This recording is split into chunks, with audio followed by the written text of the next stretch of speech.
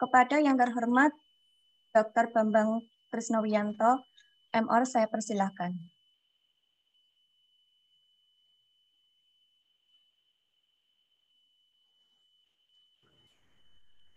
Oke, Mbak Dwi, terima kasih uh, kesempatannya, waktunya. Oke, selamat pagi uh, adik-adik. Ini ada ada 297, sekarang 295, dua lagi nggak tahu ini ke mana. Oke, terima kasih Pak Juri sudah menginisiasi kegiatan ini. Alhamdulillah satu kegiatan ini adalah untuk penguatan keilmuan yang mana pada kesempatan ini tidak bisa kita bertemu langsung offline, tetapi paling tidak upaya-upaya untuk uh, memperkuat keilmuan di bidang fisioterapi, uh, Pak Kaprodi beserta jajarannya sudah mengkreasi kegiatan ini uh, dengan online. Pada adik-adik nanti mohon diikuti kegiatan ini tadi seperti yang dipesankan oleh Pak Kaprodi untuk supaya interaktif, kemudian juga jangan sungkan-sungkan untuk menanyakan. Ini saya belum belum melihat uh, narasumbernya masuk belum masuk ya. Pak siapa namanya? Pak Halim sama Pak Eko belum belum masuk. Nanti mungkin setengah sepuluh ya. Oke ini Pak Aditya masuk. Oke selamat datang Pak Aditya. Ini masih gelap ini Pak uh, wajahnya Pak. Oke saya mau menyapa dulu ini teman-teman. Nur Muhammad ini kok anu apa namanya? Nah terang. Nur Muhammad ini uh, tidak nampak ini masih dimatikan kameranya ini. Jangan-jangan modus ini. Tidak nampak pada ini. Jadi kelihatan wajahnya, tolong uh, kelihatan sehingga ini betul-betul oh, Aditya ternyata tak kira Pak Aditya. Ternyata mahasiswa ini Aditya. Nah, ya nampak sehingga nanti kalau uh, panitia untuk memotret atau mengcaption adik-adik kelihatan ini untuk absensi ya Ya, ini saya lihat dulu semuanya ada. Oke, semuanya ada. Nggak ada yang ini ya, nggak ada yang hanya store nama, ada store nama, tapi nanti nggak ada nih. Rian Selamat, gelap ini Rian Selamat. Nah, Rian. Oke. Nanti jangan-jangan hanya menghidupkan nama saja, kemudian ditinggal nih ngapain ini. Ya, karena kita betul-betul penguatan untuk kuliah dengan online ini harus betul-betul bisa hadir nih di eh, jangan sampai hanya menyalakan komputer kemudian hanya daftar nama kemudian tinggalkan gitu ya jadi dipastikan bahwa semua peserta didik semua mahasiswa mendapatkan uh, mengikuti pembelajaran ini ya oke bagus 310 sudah uh, beranjak ya kita tunggu sampai jam 9.30 ya karena kita punya fasilitas uh, Zoom online ini, premium ini bisa digunakan tanpa terputus, tanpa terjeda, sehingga adik-adik bisa memanfaatkan, mengikuti kegiatan ini tetap paripurna ya, dari awal sampai akhir. Oke. Adik-adik, uh, informasi dari saya nanti tanggal 24 Agustus itu sudah mulai perkuliahan, pembelajaran ya, sehingga adik-adik harus Eh, bisa mengikuti kegiatan ini dengan baik ya. Walaupun belum bisa offline belum bisa datang ke kampus. Datang ke kampus mana bila mana perlu saja ya karena kita uh, melihat situasi sekarang ini uh, bertambah terus korban-korban COVID ini sehingga diharapkan semuanya uh, bisa mengikuti PBM walaupun ada yang masuk.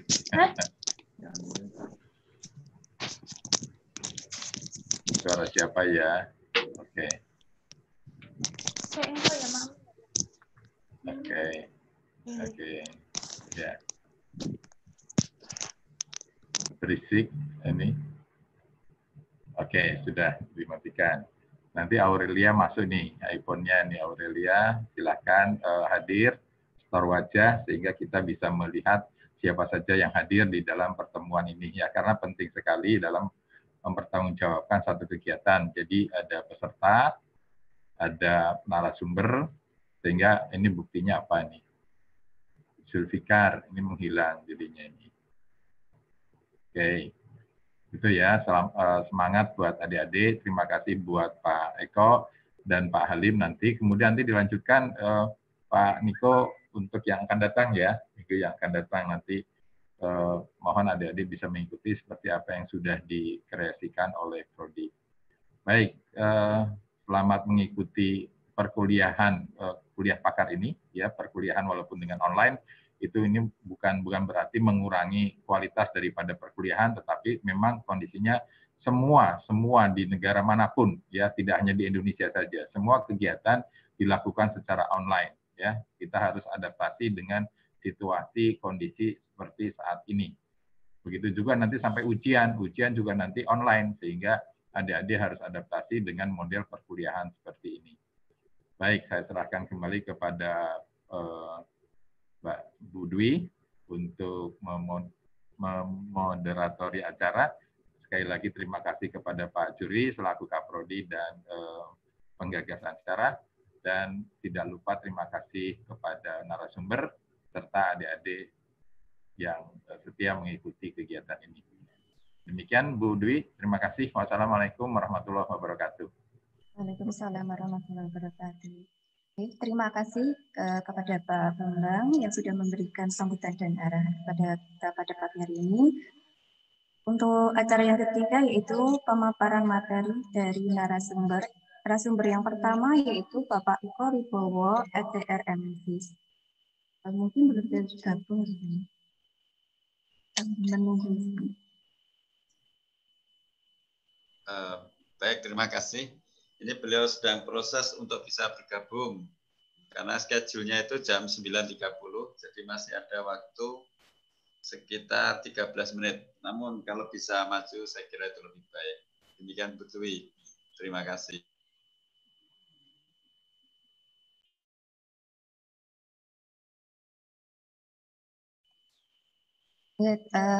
teman-teman nanti silakan menyimak paparan dari narasumber kita dan mungkin nanti bisa dipersiapkan terkait mungkin um, pertanyaan karena materinya kan sudah di-share ya uh, dari Pak Zuri tadi baik yang narasumber pertama ataupun narasumber yang kedua. Sudah dibuka semuanya teman-teman materinya?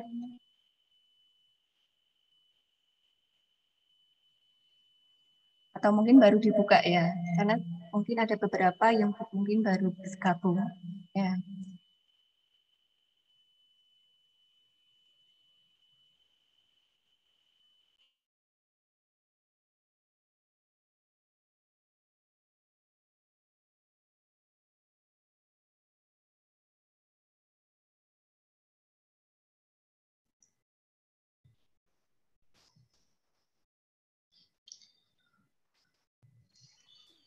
Mungkin Pak Zuri uh, ada yang ingin disampaikan terkait ini kan ada yang mau praktek. Monggo Pak mungkin di sela-sela silakan untuk menyampaikan sesuatu. Oke, baik terima kasih. Uh, terima kasih Pak Bambang atas uh, berkenannya untuk membuka acara pada kuliah umum yang kedua ini. Dan insya Allah ini adalah uh, kuliah yang sebagai apa namanya program kerja kita untuk memberikan suatu informasi-informasi terkait dengan topik-topik unggulan. Dan perlu diketahui bahwa prodi sarjana terapan itu unggulannya adalah uh, muskuloskeletal dan nyeri. Dan kemarin sudah kita uh, ikuti kuliah umum untuk nyeri, kemudian hari ini adalah muskuloskeletal. Sedangkan untuk prodi profesi itu adalah muskuloskeletal dan neuromuskuler maka dalam kesempatan ini pesertanya adalah samping sivitas akademika jurusan fisioterapi adalah jurus uh, mahasiswa prodi sarjana terapan dan juga mahasiswa prodi profesi. Untuk itu harapan kami dengan adanya kita menghadirkan narasumber-narasumber klinis dan punya latar belakang akademisi ini, harapannya bisa membuka wacana secara umum. Dan perlu diketahui bahwa pada mahasiswa sarjana terapan yang relatif uh, belum memiliki uh, apa, pengalaman klinis secara langsung, mulai dari semester 3, yang sekarang ini posisinya masih semester genap ya, semester 2, 4, 6, dan 8, harapan kami betul-betul nanti bisa menyimak dan me, kalau mungkin bisa bertanya ya silakan tanya. Di mana pada topik hari ini adalah topik tentang cedera ligamen ligamen cruciatum anterior ya di pada pada sendi lutut yang sering kali terjadi suatu cedera karena menopang berat badannya sedemikian berat. Dan sehingga ini nanti beberapa mahasiswa ataupun banyak mahasiswa yang bisa interaktif seperti pada materi kemarin, khususnya pada Dr. Pinson ini kan uh, sangat interaktif. Ini saya sangat suka. Juga ada menghadirkan CIPA ya, congenital insensitivity terkait dengan uh, apa pain uh, with uh, anhidrosis. Artinya tidak ada keringat, kemudian ada masalah nyeri yang tidak hadir, ya, insensitivity, sehingga di situ apakah hal ini bisa diberikan suatu manajemen khusus. Ini adalah suatu, suatu diskusi yang baik, bahkan diakui oleh Dr. Pinson bagian dari informasi yang jarang dikemukakan, karena memang insidennya juga jarang. Kembali lagi ke PBM, eh, tadi sudah disinggung oleh Pak Ketua Jurusan bahwa dalam pandemi COVID ini memang kita harus punya skala prioritas dan kajian-kajian menyeluruh dan memperhatikan regulasi tingkat nasional. Karena memang seperti yang saya sampaikan kemarin, ada prioritas yang utama yakni keselamatan bersama. Baik keselamatan dari sivitas akademika, mahasiswa, juga keselamatan pada masyarakat pada umumnya. Kita tidak ingin menciptakan klaster baru terkait dengan eh, apa namanya positif atau reaktif COVID sehingga kita bukan menjadi agen pembawa atau agen yang menimbulkan masalah. Dalam hal ini maka perlu kajian-kajian menyeluruh dan sifatnya integratif. Maka dalam hal ini eh, nanti ada informasi yang definitif terkait dengan BBM yang offline.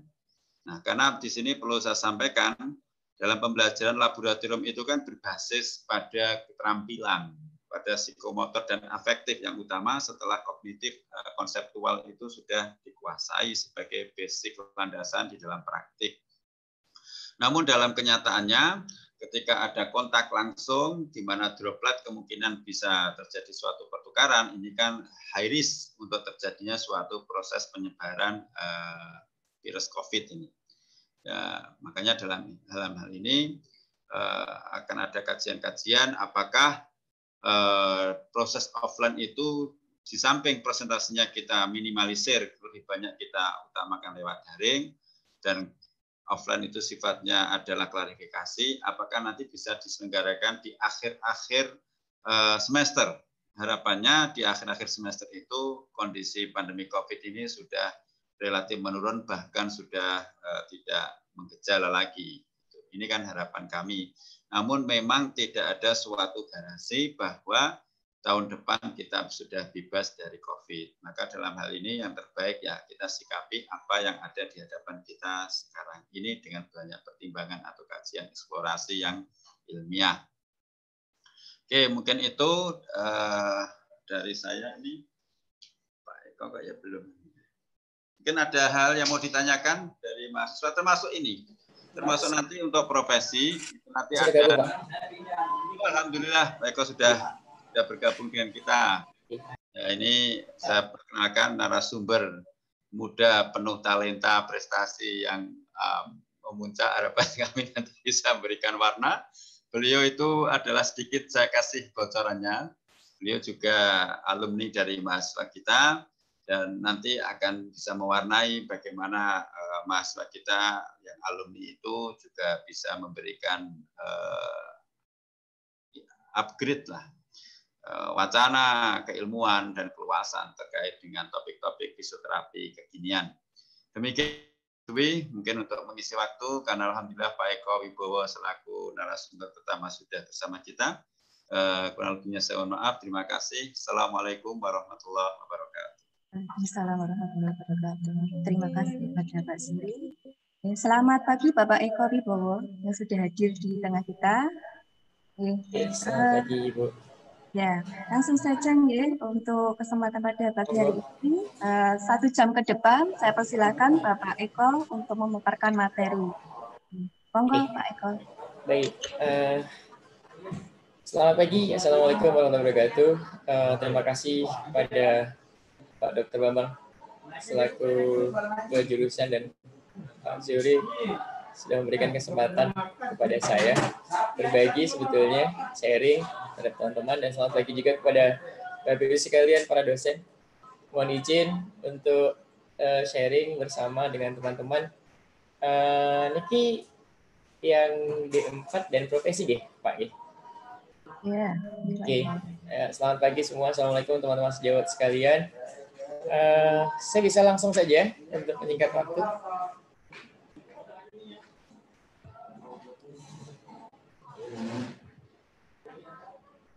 Okay. Ibu Erdianti sudah ada di PPT-nya sudah masuk ya, Bu? Sudah, Pak.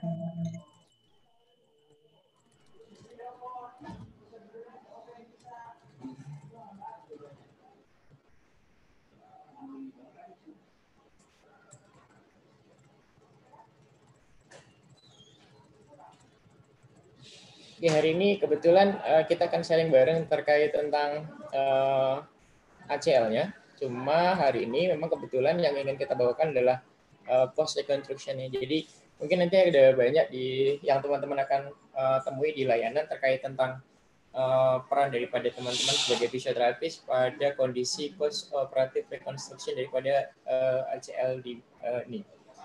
Uh, baik teman-teman, uh, saya awali dengan ini. Jadi kebetulan kenapa begitu penting menurut saya dan ke mana akan bukan dengan Pak Zuri apa yang akan kita coba sampaikan. Yang pertama adalah karena angkanya. Kami di layanan itu menemui kasus dengan uh, kondisi ACL ini cukup tinggi. Bahkan kalau lihat datanya saat ini, itu mungkin adalah 200 ribu per orang dalam setiap tahunnya. Dan itu data yang memang jelas terjadi. Di klinik kami pun menangani kasus dengan ACL ini nggak cuma Eh, lima atau tujuh bahkan sampai sepuluh per hari kasusnya semakin hari semakin meningkat. Dan kalau kita lihat memang yang paling tinggi angkanya adalah uh, eh, ACL baru dia diikuti oleh MCL dan akhirnya adalah meniscus adalah kondisi-kondisi yang memang terjadi di lapangan dan angkanya memang cukup tinggi. 70% terjadi akibat kontak dan akhirnya sisanya adalah non kontak uh, penelitian juga menunjukkan bahwa cedera ini memang paling sering terjadi pada atlet perempuan dibandingkan atlet yang gendernya adalah laki-laki. Ini adalah awal uh, apa namanya untuk panel teman-teman. Baik teman-teman, saya akan awali dulu dengan 10 poin yang ada di lutut. Jika teman-teman masih ingat, uh, untuk menghafalkan, saya pikir gampang-gampang susah di lutut, yang jelas angkanya 10. Jadi kita bisa lihat di sana ada patella, ada femur, untuk osnya ada tibia dan fibula dan untuk membedakan antara medial dan lateral adalah perbandingan eh, per, posisi daripada fibula dan tibia. Jadi teman-teman saya yakin betul sudah expert betul untuk membedakan bagaimana uh, lutut daripada uh, apa namanya uh, manusia. Jadi sendi lutut ini merupakan salah satu daripada sendi besar yang memang menahan aksial atau loading aksial cukup berat. Jadi sendi lutut merupakan sendi yang uh, yang bersifat sinovial atau hygiene type dengan pergerakannya adalah fleksi, lalu ekstensi, dikombinasikan dengan pergeseran dan putaran atau rotasi. Uh, sebagai sendi sinovial, sendi lutut memang memiliki suatu membran sinovium dengan cairan yang uh, cairan sinovial yang berfungsi sebagai lubrikan atau uh, yang mengurangi daripada friksi beban kerja daripada sendi dan stabilitas sendi lutut tergantung pada kekuatan daripada ototnya dan tendon di sekeliling daripada sendi lutut itu sendiri. Jadi uh, sangat berpengaruh terhadap stabilitas. Nanti kita akan bahas nanti untuk uh, salah satu ligamennya. Dan ligamen yang menghubungkan femur dan tibia serta otot yang berperan besar dalam menjaga stabilitas sendi. Uh, otot yang paling berperan adalah quadriceps uh, femoris dan uh, khususnya di bagian inferior dan vastus dari medial dan lateral. Jadi ini adalah dua otot yang paling berperan untuk uh, menjaga daripada kekuatan uh, sendi lutut. Komponen dari sendi lutut yang sangat berpengaruh jika salah satu komponen lainnya adalah mengalami masalah adalah salah satunya uh, eh, ACL. Seperti yang kita akan bahas nanti teman-teman. Uh, selanjutnya adalah anatomi ligamennya. Uh, ligamen yang kita ketahui ada empat tadi kita lihat ada MCL, PCL, ada uh, M, uh, ada ACL dan ada uh, LCL-nya. Jaringan ikat yang saya pikir teman-teman sudah tahu semua, yang serabutnya dibuat dari terbuat dari kolagen dan menghubungkan tulang dengan tulang. Jadi secara anatomis uh, ligamen ini berperan untuk menyokong atau memperkuat daripada persendian. Dan fungsi utama daripada ligamen untuk menjaga tulang kerangka dan mencegah gerakan daripada abnormal abnormal daripada sendi lutut itu sendiri. Uh, ligamen juga termasuk material yang cukup keras, teman-teman, dan tidak putus dengan mudah sebetulnya. Hanya kerusakan paling umum pada ligamen pada titik pertemuan dengan tulang itu sendiri. Biasanya itu yang terjadi. Dan ligamen akan mengelur ketika terjadi gerakan persendian, misalnya fleksi lutut, dan kembali ke semula ketika dia rileks.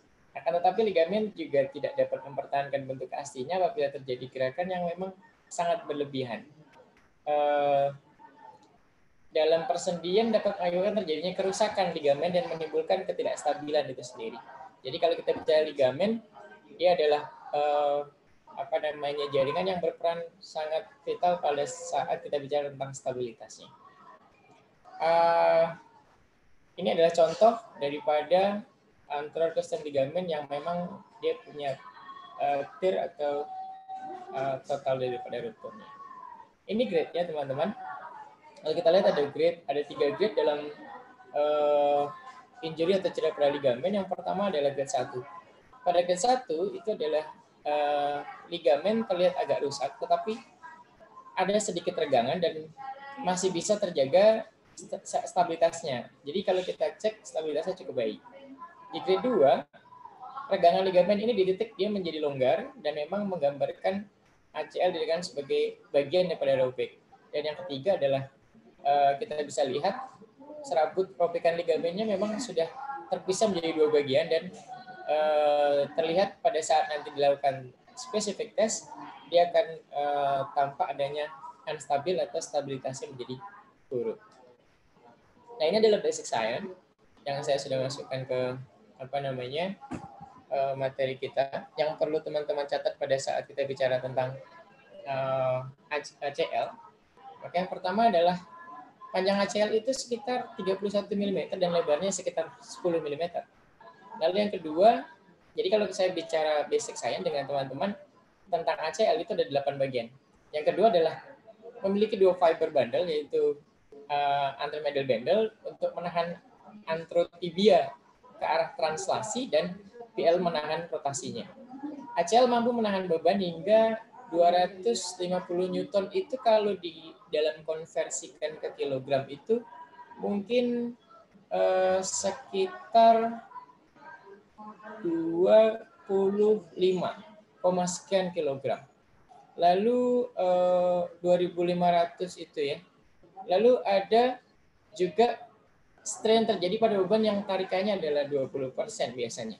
Dan gerakan aktif daripada ini extension adalah 100 Newton dan kalau dikilogramkan itu adalah 10,2 kurang lebih kilogram per force-nya.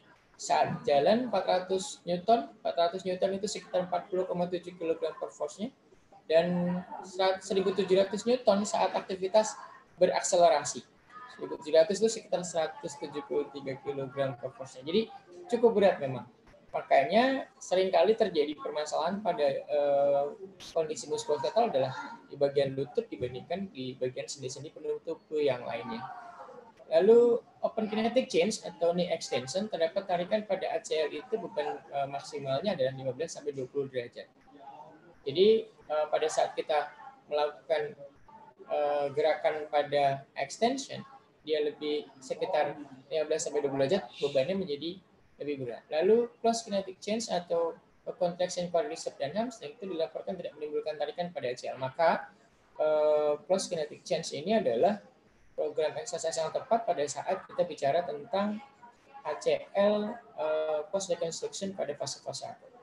Jadi ketegangan ACL pun yang terakhir, ketegangan ACL pada saat uh, legmentasi itu pada saat kita lakukan gerakan tes spesifik pada ACL root itu 150 Newton itu kalau dikilogramkan mungkin sekitar 15,2 kg. Makanya ada banyak diskusi terkait tentang ini. Maka pada saat terjadi injury di akut, maka teman-teman di, di apa namanya di, disarankan untuk tidak melakukan spesifik tes karena spesifik tes ini akan mungkin bisa jadi akan menambah daripada proses eh, apa namanya kerusakan pada ligamennya. ini adalah uh, eh, ACL dan hamstring ya. Jadi saya akan coba gambarkan antara ACL dan hamstring dan ACL dengan quadriceps. Jadi teman-teman nanti bisa membayangkan apa hubungan yang spesifik atau hubungan yang serius kedua antara kedua otot tersebut. ACL dan hamstring berfungsi menahan pergerakan dari anterior dan rotation daripada tibia. Dan saat ACL putus, maka hamstring kehilangan mechanoreceptornya dan hamstring yang akan menurun jumlah proprioceptifnya sehingga akan menurunkan kekuatan ototnya. Maka sebetulnya PR terberat nanti pada saat kita bicara tentang post reconstruction adalah bagaimana caranya membuat uh, kekuatan otot hamstring ini meningkat dan kembali membuat uh, meningkatkan jumlah dari proprioceptifnya. Lalu yang ketiga adalah cedera acel dapat menurunkan massa daripada latihan atau interval kontraksi dan respon dan ini akan menggambarkan akhirnya menimbulkan adanya atrofi. Saat aktivitas post kinetic change, hamstring juga sebagai aktivitas ekstensi dalam menahan gravitasinya. Jadi eh, hamstring berperan cukup penting dalam konteks eh, terjadinya injury pada ACL tersebut. Lalu selanjutnya, ini adalah hubungan antara ACL dengan quadricepsnya sekarang. Quadriceps sebagai stabilisasi dinamis atau penahan goncangan utama dari knee joint saat melakukan pendaratan dan quadriceps bertanggung jawab untuk ekstensi daripada lutut serta saya pikir teman-teman sudah tahu pada open kinetic change ini extension beban puncak quadriceps terhadap ACL pada derajat 30 atau 15 daripada derajatnya. Dan menurut bayanan di 2014, seorang atlet saat mendarat aktivitas quadriceps dapat menghasilkan sekitar 6.000 Newton pada ACL. Bisa terbayang 6.000 Newton itu kalau dikonversikan itu sekitar 611 kg per force. Jadi cukup besar.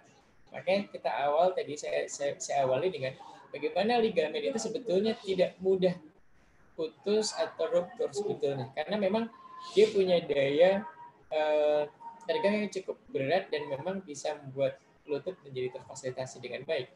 Lalu selanjutnya, bahwa aktivitas quadriceps yang adekuat saat mendarat bisa merusak ACL jika tidak ditopang dengan hamstring yang kuat. Nanti kita akan bahas di belakang bahwa ternyata balance antara hamstring dan quadriceps harus terbangun dengan baik pada atlet. Karena kalau sudah terjadi imbalance, muscle imbalance, maka akan mengakibatkan beberapa kerusakan termasuk uh, ligamen pada ACL.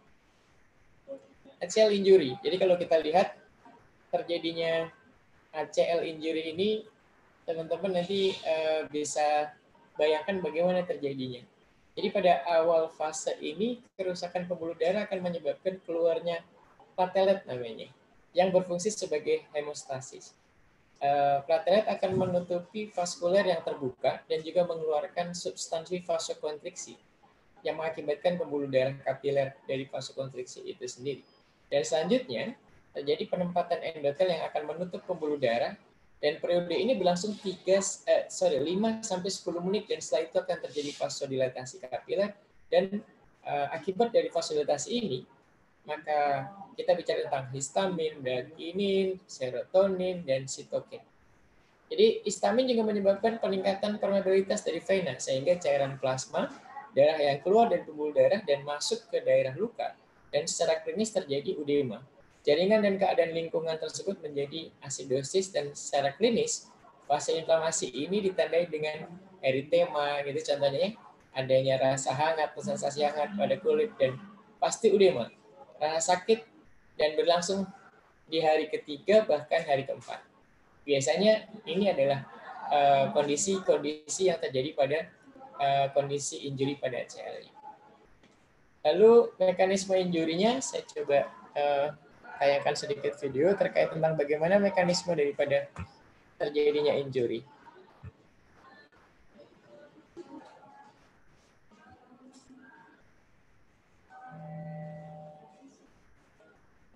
kita lihat sebetulnya nanti di dalam replay kita bisa lihat bagaimana posisi daripada pemain basket yang berwarna biru ini.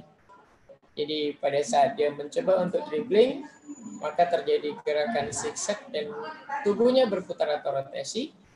Lalu dengan posisi lutut yang memang tidak tepat. Jadi kalau kita lihat, saya cepatkan sedikit. Pak Eko, ini gambarnya belum terlihat. Atau... Kenapa Mbak? Videonya belum nampak. Oh, belum ya? Coba sebentar. Oh ya, coba sebentar ya. Saya share dulu. Oke. Okay. Saya share videonya. Tadi saya belum keluar ternyata. Masih menggunakan PPT-nya. Nah, kita lihat teman-teman. Saya coba ulangi gambarnya.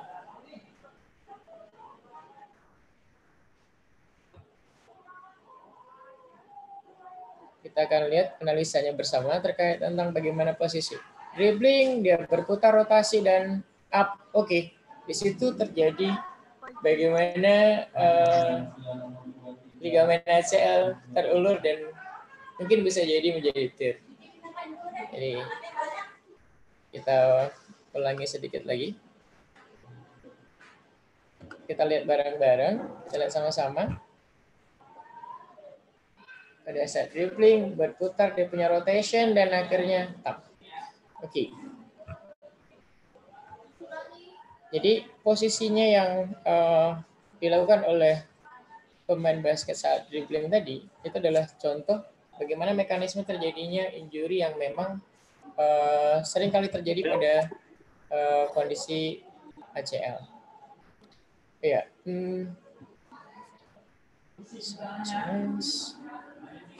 ya, dan ini adalah uh, kondisi Eh, faktor-faktor yang mempengaruhi terjadinya injury yang tadi contohnya seperti kita lihat. Yang pertama adalah adanya neuromuskular dan ini faktor intrinsiknya. Neuromuskular dan biomekanik dari joint saat landing dan pivot. Jadi kalau kita lihat tadi bagaimana caranya dia melakukan uh, gerakan biomekanik daripada tubuhnya yang sedikit rotasi, lalu dia menumpukan kakinya sebelah kiri lalu gerakan pivot. Pivot itu adalah gerakan memutar teman-teman. Rotasi dari satu posisi ke posisi yang lain dengan kaki yang memang masih uh, tidak menumpuk.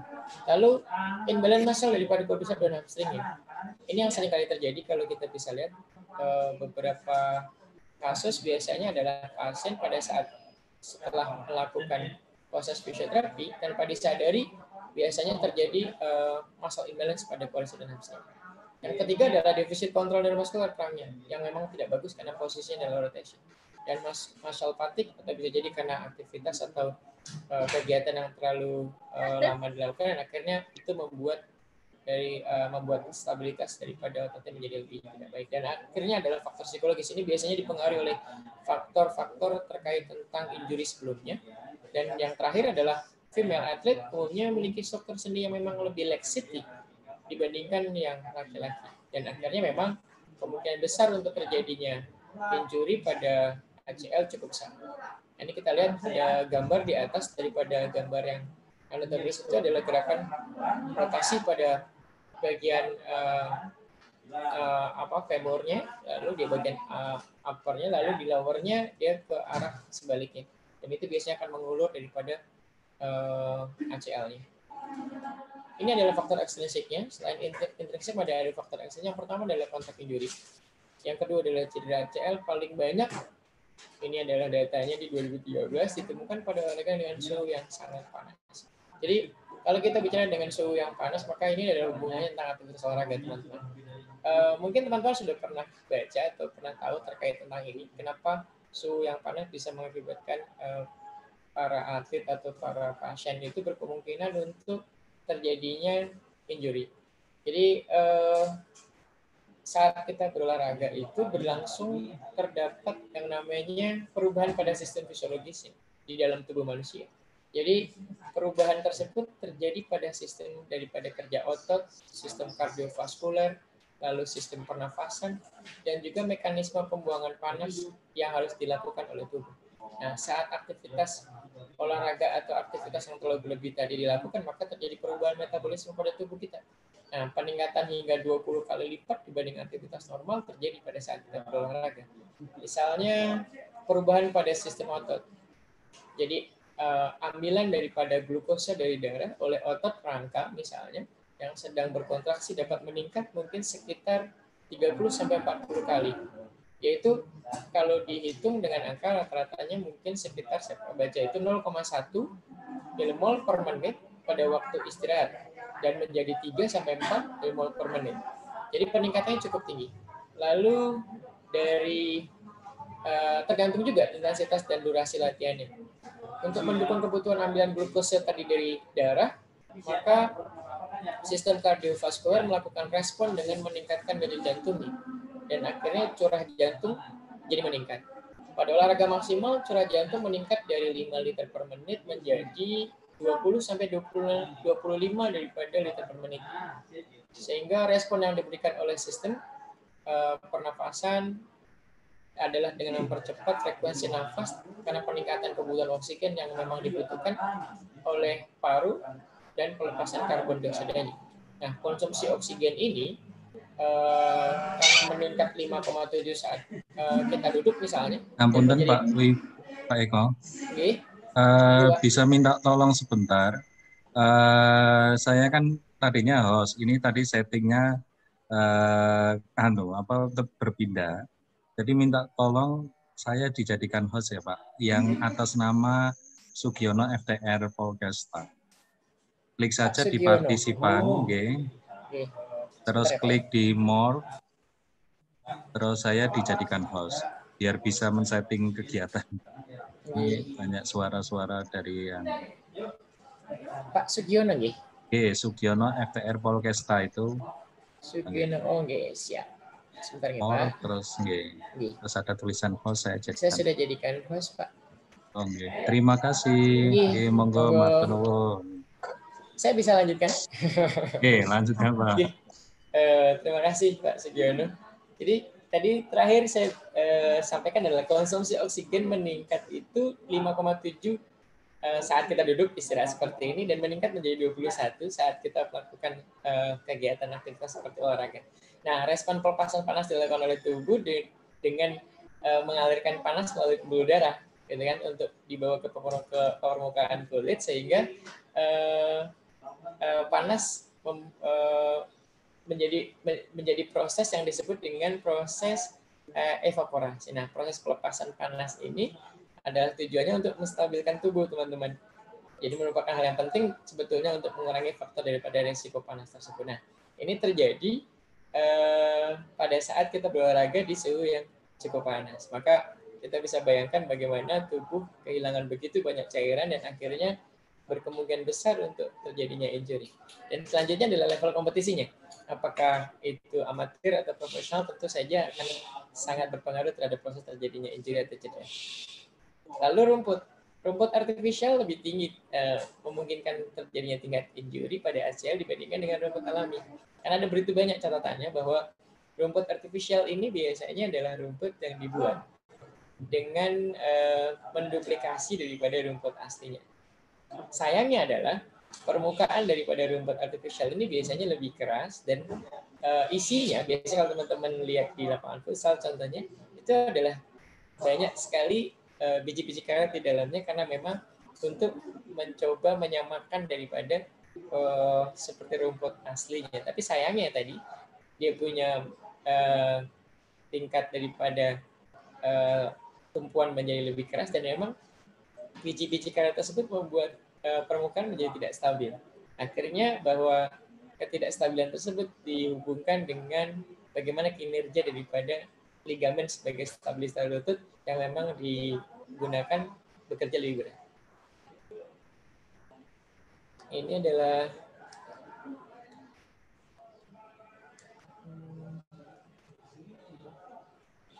kelihatannya macet.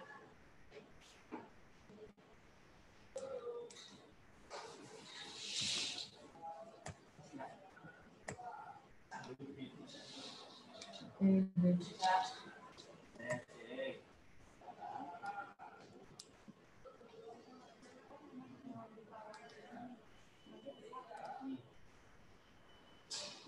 Next slide.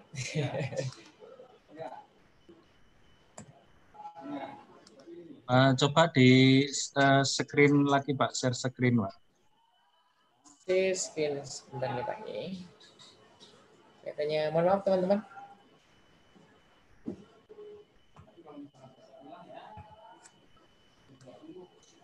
Hmm, kelihatannya saya kesulitan untuk ini Pak. Apa karena hostnya tadi saya pindahkan? Enggak, kalau co-host sudah bisa. Uh, sudah tampil lagi? Itu sudah tampil, Pak? Iya, tampil. Tapi saya tidak bisa lakukan next nih, Pak. Kalau manual bisa nggak, Pak? Klik manualnya. Saya coba manual pun sama, Pak. Nggak bisa maju. anu full share screen baru lagi Pak. Share screen. Yang ininya close dulu. Top top share-nya.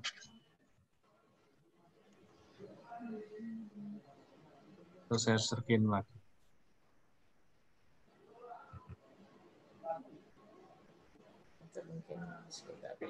Mungkin yang ini.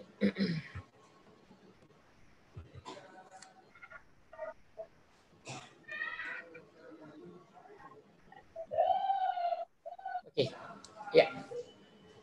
Oke Pak Sigi, sudah kelihatannya. Oke, siap. Oke, saya lanjutkan untuk uh, faktor dari SSA tadi kita bahas, dan ini adalah historinya. Pada saat kita bicara tentang ACL injury, maka yang pertama ada empat bagian yang teman-teman perlu uh, ketahui. Yang pertama adalah histori, asesmen, artroskopinya, nanti tindakannya, dan pemeriksaannya. Nah, dalam pemeriksaan, uh, di dalam uh, pertanyaan tentang histori, maka yang pertama adalah ceritanya pasti nggak jauh seperti ini bahwa atlet atau pasien yang terkendala terkait dengan ACL maka tiba-tiba dia berhenti memotong atau meloncat terjadi trauma hyperextension dan rotation dan terdengar suara pop sound. Lalu si atlet atau pasien biasanya tidak dapat melanjutkan olahraga di saat itu juga. Ya, Karena beberapa jam kemudian terjadi udema pada lutut dan uh, nyeri pada saat uh, kita berjalan dengan pola giving way. Lalu pada saat kita melakukan asesmen, biasanya tahap kedua adalah terjadinya udema. Lalu terjadi ditemukan adanya nyeri pada saat dia walking. Lalu ketidakmampuan untuk menempuh berat badan kaki dan berkurangnya range of motion atau adanya ketidakstabilan pada sendi lutut. Nah, di dalam poin ketiganya adalah artroskopi. Biasanya dokter ortopedi nanti atau ahli bedah harus menggantikannya dengan graf. Nah, sumber grafnya ini yang harus teman-teman ketahui dari mana bisa dengan uh, ambil dari tubuh dia sendiri atau dia sebut dengan autograf itu biasa dari tendon patellaris atau pada graf tendon pada hamstring. Nah, atau bisa juga diambil dari orang lain yang kita sebut dengan autograf dan diambil melalui sayatan kecil yang terbuka.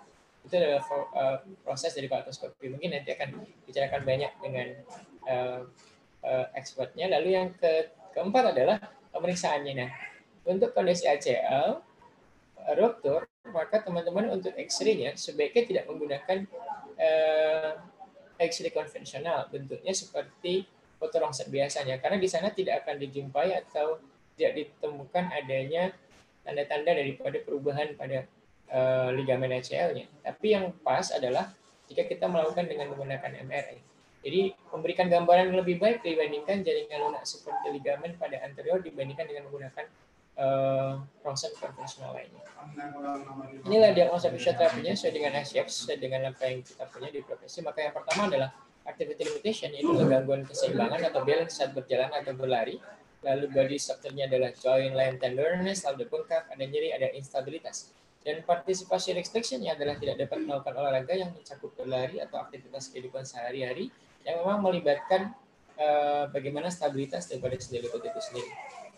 Ini adalah spesifik test teman-teman, Bapak Ibu sekalian yang biasa kita gunakan. Yang pertama adalah Lehman test, pivot shift test, drawer atau posture antro test, dan pemeriksaan radiologi tadi seperti MRI. Ini adalah Lehman test. Nah, Lehman test ini sebaiknya memang harusnya ada di uh, apa namanya di diperagakan. Cuma mungkin saya gambarkan saja bahwa uh, tes yang tes ini untuk melihat apakah ada pergeseran antara tungkai atas dan tungkai bagian bawahnya ya dan menunjukkan adanya ketidakstabilan pada lutut. Maka pergeseran sebanyak 5 mm biasanya di kami itu standarnya dapat menjadi indikasi daripada uh, dilakukannya proses uh, rekonstruksi. Jadi sebelum 5 mm biasanya kita akan lihat kembali di dalam pemeriksaan X-ray. Tes ini dilakukan dengan meletakkan lutut pada posisi fleksi, seperti yang teman-teman lihat di situ ada 30 derajat. Dengan tungkai diputar secara eksternal, jadi gerakannya adalah secara eksternal, satu tangan dari pemeriksa menstabilkan tungkai bawah dengan memegang bagian akhir dari ujung distalnya eh, dari tungkai atas dan tangan yang lain memegang bagian proksimalnya dari tulang tibia kemudian usahakan untuk digerakkan ke arah anterior maka kalau uh, hasil tes ini positif, maka ada terjadi uh, gerakan yang unstabil pada sendi lututnya. Dan yang selanjutnya adalah anterior atau posterior driver testnya. Ini digunakan juga untuk mengetahui adanya hypermobilitas daripada uh, sendi lutut. Nah, tes ini hanya dapat dilihat apabila otot-otot di dalam keadaan rileks. Ingat, dengan kondisi rileks. Maka kalau kondisi ototnya sedang berkontraksi, maka ini akan sulit untuk dilakukan. Maka dapat dilihat otot-otot di sekitarnya apakah dalam keadaan rileks atau tidak. Dan prosedurnya, teman-teman, posisinya adalah pasien yang posisi terlentang dan uh, long sitting gitu ya. Posisi lututnya fleksi 90 derajat dan terapis memfiksasi kaki di bagian uh, kakinya pasien, tangan terapis pada proximal tibia dan uh, terapis menarik ke arah anterior. Nah, asesmen ini positif gitu ya apabila cruciate anterior terdapat soft feel gerakan ke yang sangat berlebih. Nah, kita akan bilang positif tes yang dilakukan. Dan yang selanjutnya adalah uh, pivot shift test. Dirancang memang untuk juga untuk melihat ketidakstabilan atau putaran daripada antrolateral daripada sendi lutut.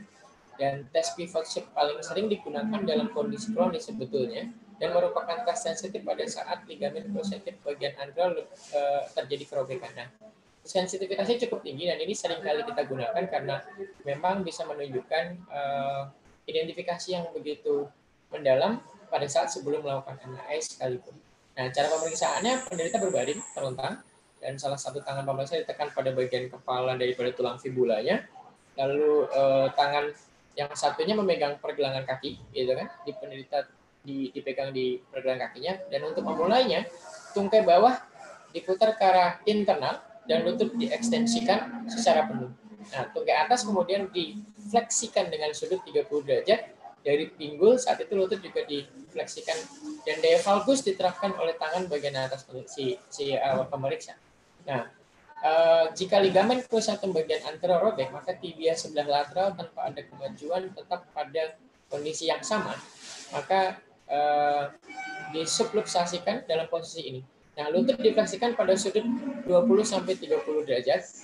Tibia setelah lateral akan berkurang dengan sendirinya. Nah, ini uh, akibat akibatnya gerakan ini melakukan uh, full pulpable shift atau clucking itu kita sebutnya begitu. Nah ini adalah tes yang sering kali dilakukan untuk mengetahui uh, apakah ACL bermasalah dan uh, validitasnya cukup tinggi.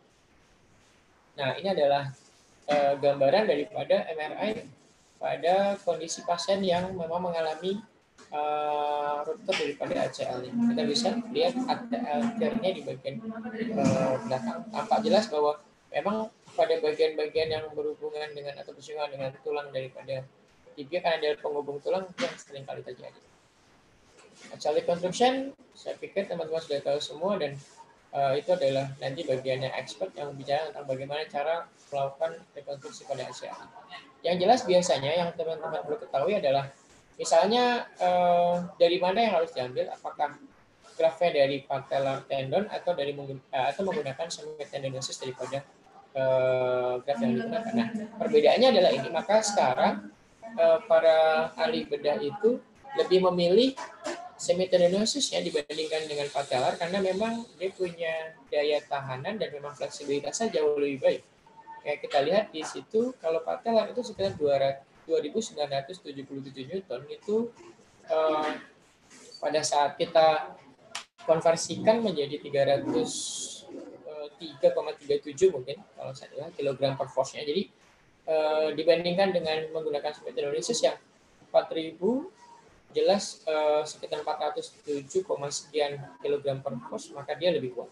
Dan kemungkinan untuk kembali terjadinya injury lebih kecil dibandingkan harus menggunakan patellar apalagi pada eh, pasien-pasien uh, dengan uh, apa namanya atlet ya yang memiliki jenis olahraga yang memang membutuhkan stabilitas lutut yang baik.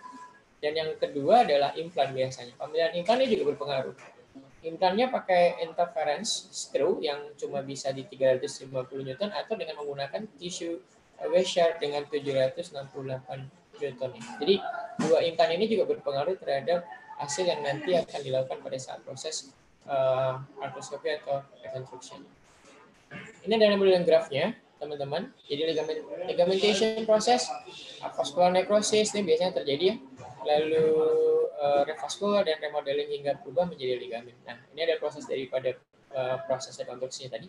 Axial baru dilimitasi oleh fiksator dan implan, lalu nekrosis avaskular pada 4 sampai 8 minggu, itu ligamen akan lebih signifikan menjadi uh, melemah dan 53% kekuatan sel pada tiga bulan uh, post operasinya, serta proses maturasi dari graf axial terjadi pada enam bulan dan proses maturasi berlanjut dalam satu tahun. Nah, di saat latihan memang nanti kita akan bicarakan harus menyesuaikan dari proses ligamentation-nya.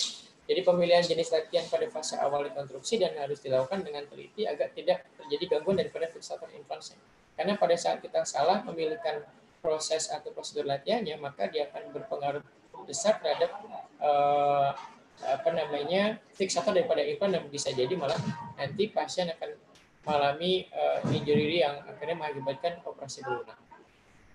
Ini adalah post operasi reconstruction. Apa saja yang terjadi? Tiga poin besar sebetulnya yang perlu teman-teman catat adalah reaksi inflamasinya. Jadi reaksi inflamasi ini uh, memang sudah merupakan suatu proses yang lazim terjadi pada saat kita sudah melakukan post operasinya jadi suatu respon sebetulnya dari jaringan akibat adanya rangsang fisik maupun kimiawi yang bersifat merusak jaringan tubuh itu sendiri.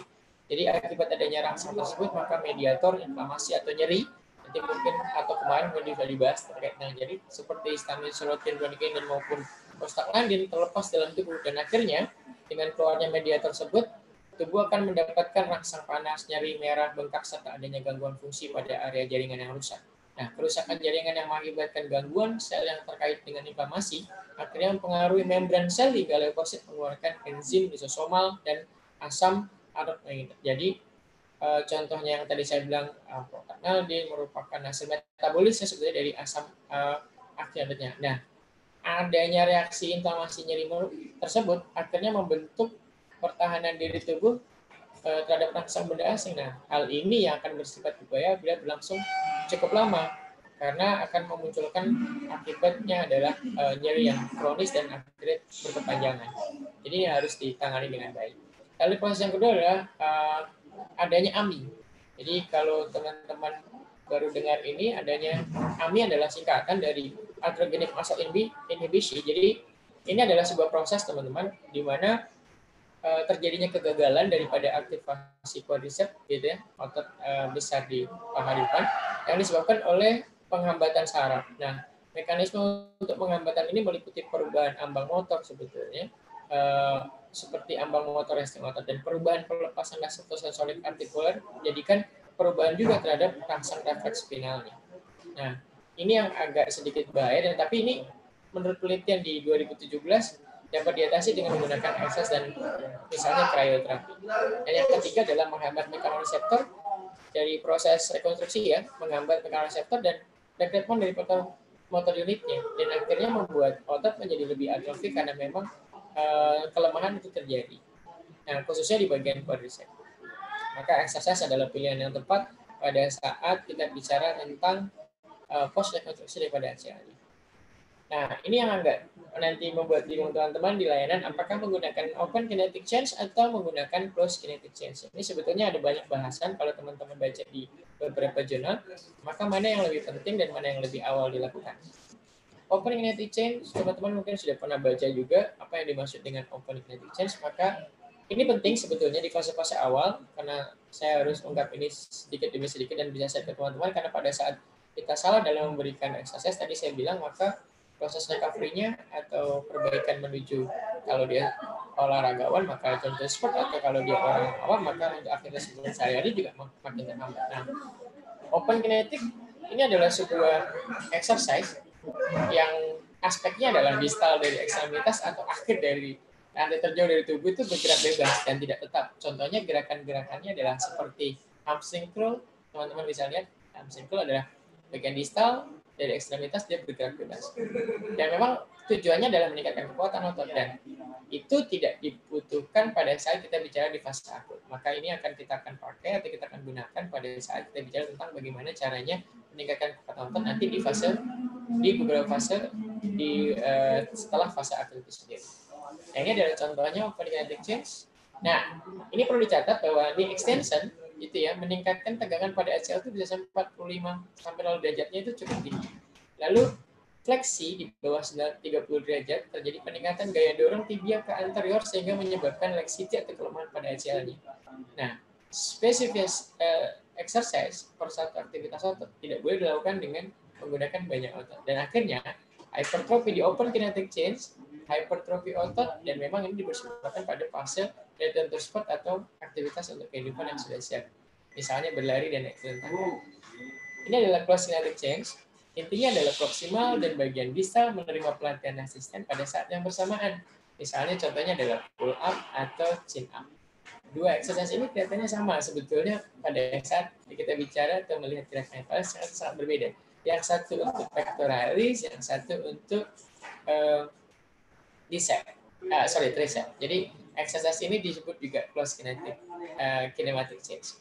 Squat, lunges, dan push up ini adalah salah satu exercise yang memang digunakan pada saat kondisi masih akut. Nah, kalau teman-teman uh, masih ingat, misalnya kemarin waktu kita bicara tentang uh, injury yang uh, mencengangkan, halo, halo. Oke, bisa Pak, kedengaran. Oke, uh, okay, uh, Teman-teman masih ingat bagaimana Mark Marquez pada saat selesai tindakan operasi kemarin, dia bisa pertontonkan ke di kita semua bagaimana dua hari dia bisa melakukan gerakan push up. Nah, gerakan push up contohnya itu adalah cross kinetic change yang memang dalam prosesnya itu dapat dilakukan dengan kondisi-kondisi seperti yang saya bilang tadi masih akut. Nah, kenapa dia bisa melakukan itu? Karena memang cross kinetic change. Jika melakukan gerakan yang open, kinetic change saya yakin betul dengan kondisi yang masih akut dengan jangka waktu baru dua hari, itu akan kesulitan untuk dikerjakan. Misalnya seperti itu, ini adalah contohnya misalnya. Lalu melatih co-contraction, ini adalah tipe daripada uh, close kinematic uh, untuk melindungi grafnya di hari-hari pertama atau di fase-fase akut. Lalu memberikan pelindungan lutut atau stabilisasi daripada menyelut di dini join dan mendidik kembali otot dan sendi lain untuk bekerja bersama dalam aktivitas fungsional. Ini adalah konteksnya pada uh, tipe latihan post kinematic change dengan kondisi pasca rekonstruksi dari ACL. Ini adalah fase pertama teman-teman, kita bagi menjadi empat fase dalam exercise-nya. Yang pertama ini adalah prinsipnya, teman-teman 0 sampai 3 minggu adalah latihan harus melindungi ACL-nya baru atau implan daripada proses grafting tadi. Uh, yang pertama adalah kontrol inflamasi dan early motion daripada knee, point, uh, knee, knee joint fokus ke full extension teman-teman, bukan pada flexion dan mobilisasi patella dan aktivitas quadricepsnya. Rom fleksi 90 derajat itu biasanya akan mudah didapatkan pada saat inflamasinya sudah turun. Jadi PR terberat dari kita adalah nanti pada saat di 0 sampai 3 minggu adalah proses extension daripada knee-nya. Dan hindari latihan knee extension dengan menggunakan open kinematic change. Dan ini adalah menurut banyak literatur menjadi permasalahan baru karena pemilihan exercise yang salah di awal atau fase awal.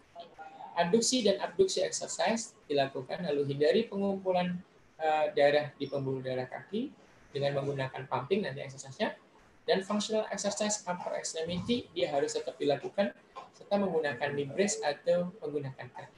Ini adalah contohnya, ini adalah dosisnya. Jadi fase 1 atau fase pertama pada exercise nanti 0 sampai 3 minggu yang pertama kali dilakukan adalah contohnya adalah cool therapy pre dan post exercise. 10 hingga 15 menit lalu quadricep setting 3 sampai 5 set dalam satu kali exercise menggunakan 15 sampai 20 repetisi lalu heel stroke, lalu heel slide, sitting heel slide-nya, ada SLR dengan 0 derajat, tidak boleh terbuka dulu, lalu patella mobilization, hip abduction, ankle pump, front hang, serta weight bearing. Ini disesuaikan dengan case yang sebetulnya. Kurang lebih sekitar 3 menit kalau kita lihat penelitian waktu yang ditentukan untuk berlatih dengan full weight bearing. Ini adalah fase pertama, dan ini adalah contohnya adalah uh, ice.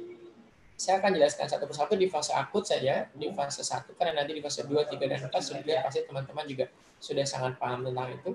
Maka uh, biasanya menjadi pertanyaan begini, apa fungsinya gitu kan? Jadi jangan sampai ini tidak sampai ke pasien atau klien pada saat kita bicara tentang harus ada ice atau cool pre dan exercise. Nah, efek fisiologis dari terapi dingin ini sebetulnya adalah uh, vasokonstriksi ya. Teman-teman pasti sudah paham juga pada saat kita uh, uh, di kampus bahwa vasokonstriksi dari arteriola dan venula menurunkan kepekaan daripada akhiran saraf dan uh, dapat menurunkan tingkat metabolisme sel sehingga mengakibatkan penurunan kebutuhan oksigen pada sel-sel. Nah, secara klinis, teman-teman, uh, keseluruhan proses tadi dapat mengurangi proses udema atau pembengkakan dan mengurangi nyeri. Akhirnya adalah spasme otot dan risiko dari kematian selnya bisa lebih uh, dirilis. Nah, pada uh, para ahli juga sebetulnya berpendapat bahwa AIS dapat mengurangi jumlah asam laktat pada saat kita berikan uh, sebelum latihan dan akan mempercepat proses penghapusan daripada asam laktat itu jika dilakukan setelah daripada exercise. Makanya kita butuh full terapi pre dan post exercise. Jadi reasoning yang kita uh, sampaikan ke pasien adalah berhubungan dengan bagaimana caranya asam laktat tadi bisa dikontrol dengan baik. Lalu selanjutnya adalah quality setting. Nah, ini biasanya kita harus praktekkan sebetulnya karena coordinate setting ya, ya. saya tidak bisa meli, uh, mendapatkan gambar yang uh, apa namanya tepat. Paling tidak dilakukan dengan cara duduk bersandar pada satu sisi uh, tembok atau sandaran yang tegak lurus.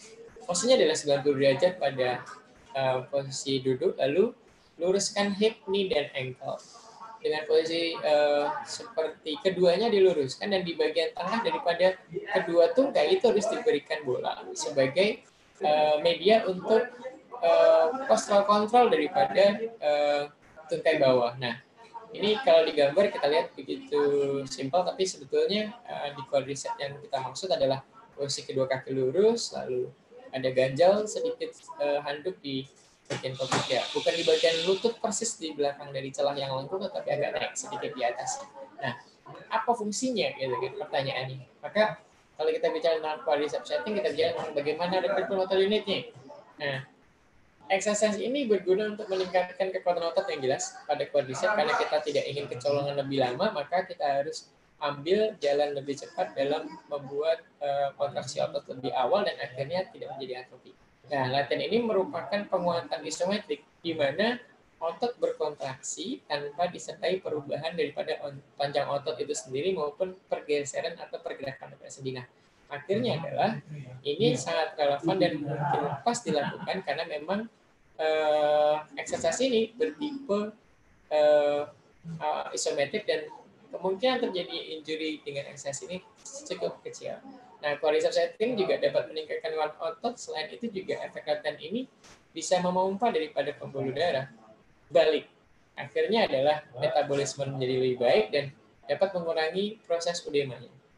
Dan uh, semua bentuk terapi dan seperti terapi latihan itu fungsinya nanti adalah uh, memperbaiki balance, lalu meningkatkan kekuatan otot, terutama pada kasus-kasus rekonstruksi daripada ACL itu latihan yang diberikan adalah latihan yang sifatnya adalah ingat tadi saya awal sebutkan pakai close kinematic change. Itu lalu selanjutnya adalah heel drop. Heel drop uh, sebetulnya ini bukan uh, gerakannya bukan melakukan flexion dan ekstensi daripada lutut tapi heel drop uh, dia melakukan pressure tekanan ke arah extension. Yang tadi saya bilang bahwa PR kita di fase pertama adalah bagaimana caranya lutut bisa full extension dibandingkan harus mencari daripada flexion daripada lututnya. Jadi job dilakukan ini tujuannya adalah untuk menambah kekuatan otot jelas, lalu range of motion pada saat kita bicara tentang extension, dan juga prosedur pelaksanaannya dia sebetulnya seperti hot relax, kontraksi isometrik lawan tahanan lalu diikuti dengan relaksasi. Dan hasil dari uh, relaksasi ini adalah sifatnya autogenic uh, inhibition di mana tendon Golgi akan menghibisi daripada uh, ketegangan otot sehingga terjadi penguluran atau stretch pada jaringan otot dan mengalami pemendik yang mengalami pemendikan akibat daripada konstruksi itu sendiri. Ini adalah dilakukan selama lima menit rata-rata. Ini adalah heel slide. Sama-sama kita tahu heel slide dengan menggunakan towel atau teraben, maka uh, tujuannya pasti adalah untuk menambahkan daripada range of motion dengan uh, bantuan wall uh, towel atau dengan menggunakan terapen karena dia terdapat gerakan uh, core contraction di dalamnya. Ini adalah 3 sampai 5 set dalam 15 sampai 20 repetisinya. Ini last single state sama juga seperti tadi.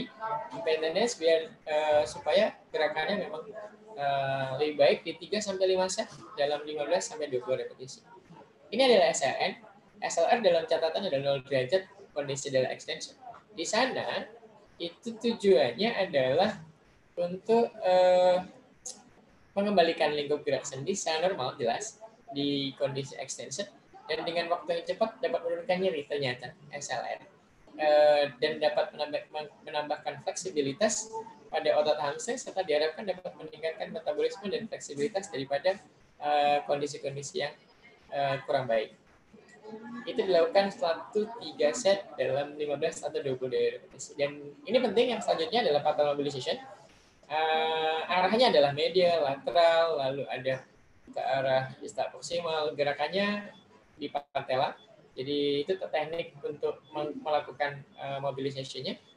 Ini penting karena tujuannya adalah untuk mengembalikan rentang gerak daripada uh, patella selama rehabilitasi di ligamen anteriornya. Nah, kalau atau jika patella tidak bisa bergerak dalam alur femur yang normal, maka dia akan sangat berpengaruh terhadap uh, kinerja daripada sendi lutut yang tidak bisa melakukan flexion atau memanjang dengan baik. Maka track patellar mobilization perlu dilakukan di awal fase untuk menjaga supaya uh, alur femurnya menjadi sangat baik. Selanjutnya adalah hip abduction abduction ini kita bisa lakukan gerakannya seperti ini. Di fase awal tidak perlu menggunakan teraband exercise karena ini akan naik dan meningkat uh, apa namanya dosisnya dengan penambahan-penambahan daripada dumbbell uh, beban atau bahkan exercise. Nah, ini dilakukan 1 sampai 3 set dalam 10 repetisi. Uh, tujuannya adalah uh, menangani daripada kelemahan daripada otot-otot stabilisatornya, contohnya di glute, uh, ada gluteus maximus, gluteus medius yang memang pasca imobilisasi atau pasca operasi biasanya akan terganggu dan uh, ini biasanya bisa dikombinasikan, ditingkatkan dosisnya menggunakan bentuk latihan yang lain seperti ada clamshell atau uh, stabilisasi pada glute atau glute exercise. Selanjutnya adalah hip abduction sama seperti tadi, hanya bedanya adalah ke arah aduksi. Kalau tadi ke arah uh, eh, ABD maka uh, kita juga kombinasikan dengan aduksinya. Ini adalah ankle pump. Ini juga perlu dilakukan di fase-fase awal karena memang biasanya dia akan terjadi masalah pada udema terutama. Nah, Ankle pumping ini mekanismenya penting dalam proses sirkulasi darah misalnya, maka dia akan kembalikan darah ke ekstremitas bawah daripada jantung dan memompa darah ke jantung oleh kontraksi ototnya. Maka latihan ankle pump juga sering digunakan untuk menghilangkan edema dan mencegah trombosis atau terjadinya trombosis pada vena uh, bagian dalam atau kita biasa sebut dengan DVT atau deep vena uh, trombosis yang terkait dengan tirah baring atau adanya pasca operasi. Nah, ini penting Lalu ini adalah front hang. Front hang kita lakukan gerakannya sayangnya saya tidak punya videonya maka di front hang ini bicaranya tentang menambahkan extension ini dengan menggunakan gaya gravitasi sebetulnya. Jadi eh, sebetulnya biasanya tidak cukup dengan gravitasi maka dia harus tambahkan dengan gerakan seperti extension atau meluruskan ke arah lutut extension dengan cara penuh.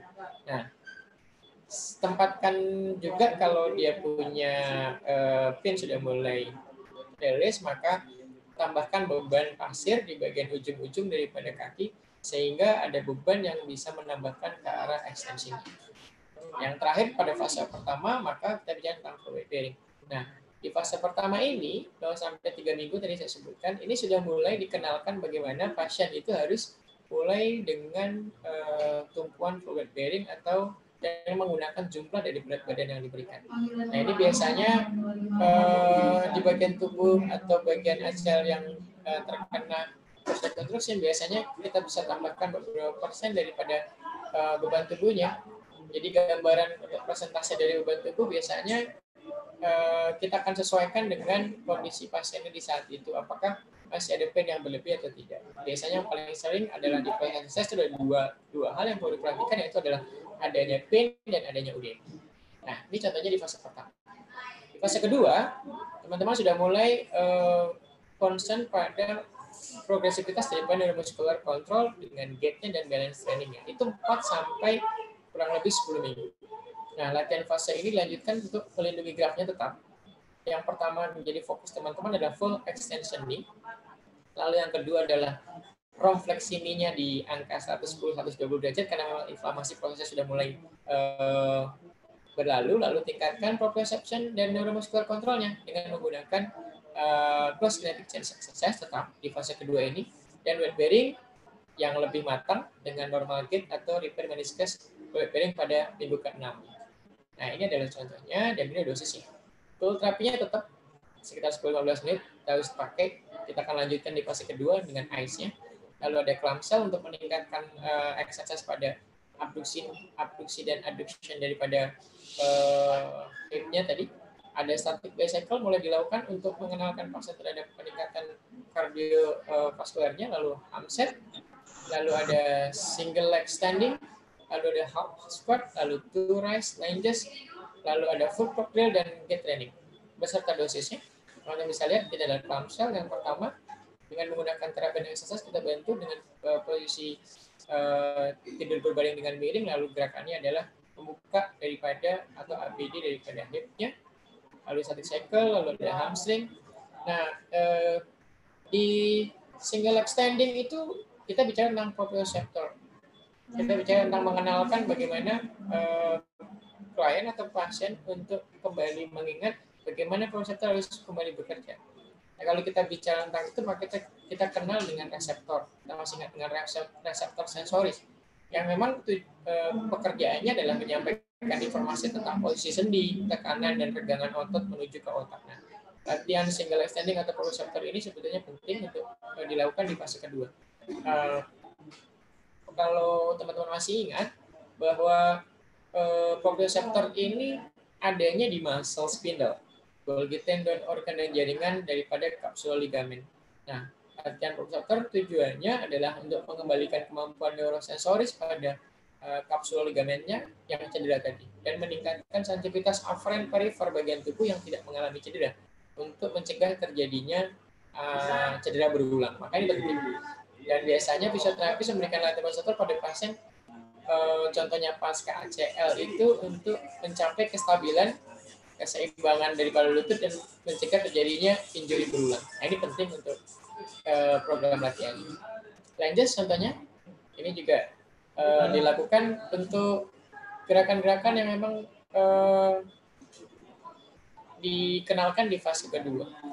Dan sering kali kalau kita lihat gerakannya itu sering kali tidak tepat karena ranges dilakukan dengan berdiri rendah tetapi dorongannya adalah ke depan. Yang tepat adalah dengan menjaga tetap uh, posisi tubuh menjadi tetap lurus, lalu dia turunkan secara sejajar dan ini tujuannya untuk balance dan juga uh, membuat kinerja fotosensornya menjadi baik.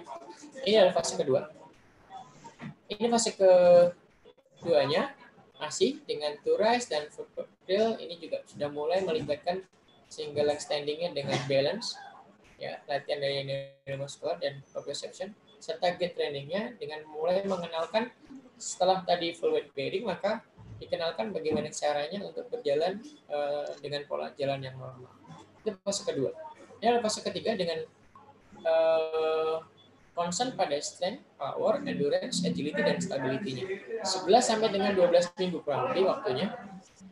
Intinya adalah lanjutkan fase kedua dengan meningkatkan intensitasnya, lalu catatannya adalah no pain dan no efficient menuju full round flex ini yang tadi 110 120 mulai menjadi lebih tinggi lalu meningkatkan range dan dengan power endurance agility stability power extremity-nya dengan meningkatkan daya tahan kardiorespirasinya tadi ditambahkan dari sebelah statik ke arah mungkin yang lebih meningkat nanti kita lihat latihannya dan latihan tetap menggunakan uh, latihan bisa di uh, rubah menjadi open carriage untuk uh, hypertrophy yang sudah mulai dilakukan di fase ketiga. Ini adalah contoh latihannya.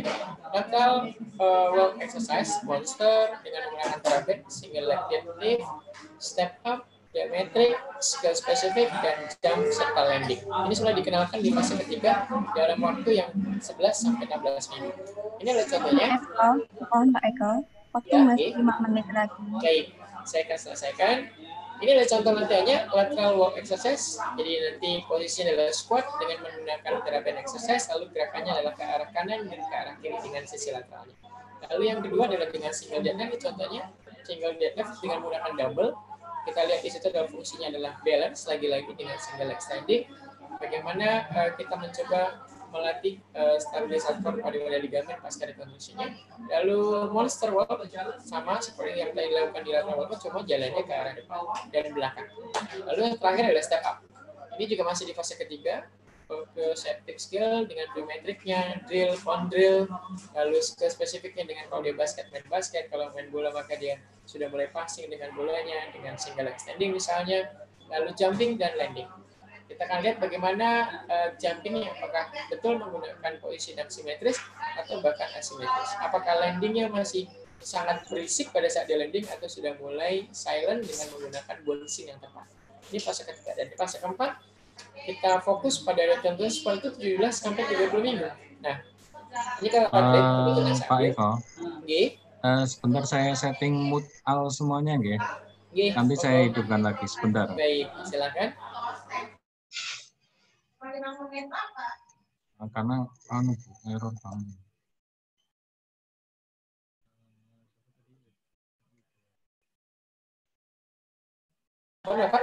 Iya, sampun, Pak. Oke. Saya lanjutkan di fase terakhir atau fase keempat yang sudah siap untuk melakukan aktivitas kehidupan sehari-hari. Ya. Kalau uh, apa namanya uh, di sport Latihan fase 3 tetap ditingkatkan dengan intensitas yang lebih tinggi dengan full row. Muscle strength-nya 10%, tentunya dari isu kinetic test, agility test, dengan menggunakan tes daya tahan kardiovaskuler skill. Ini contoh latihannya, dan ini ada dua sisi. Latihan hypertrophy, single leg jump, landing, ini semua dilakukan di fase keempat, dan waktunya adalah sekitar 17 sampai 30 minggu. Ini adalah visual daripada latihannya. Fase keempat ada single jump, landing, dan juga latihan hypertrophy otot. Dengan menggunakan uh, plus uh, atau dengan melakukan open Nah ini dia Fase keempatnya running dengan jogging dan juga akselerasi. Itu dilakukan di fase keempat sudah mulai dikenalkan untuk berlari dengan cepat, dia berhenti lalu tiba-tiba sekian kembali. So, kinetic test, hop test dilakukan di 90 persennya dengan single hop testnya. Ini adalah tes agility-nya dengan menggunakan T-test agility. Itu di fase keempat. Hmm, terakhir, di set terakhir, Bu Herdianti bahwa riset menunjukkan bahwa memang pelatihan neuromuskular termasuk latihan volumetrik, balance, dan teknik mengurangi risiko cedera lutut serius pada atlet wanita terutama. Dan pelatihan dapat memfasilitasi adaptasi neuromuskular untuk meningkatkan stabilisasi sendi dan pola uh, reaktivasi dan reaktivasi otot dan membantu melindungi daripada ACL. Saya pikir itu yang bisa saya berikan. Hmm, terima kasih. Terima kasih Pak Eko atas untuk berikutnya kita masuk ke sesi diskusi. Silakan yang ingin bertanya kepada Pak Eko.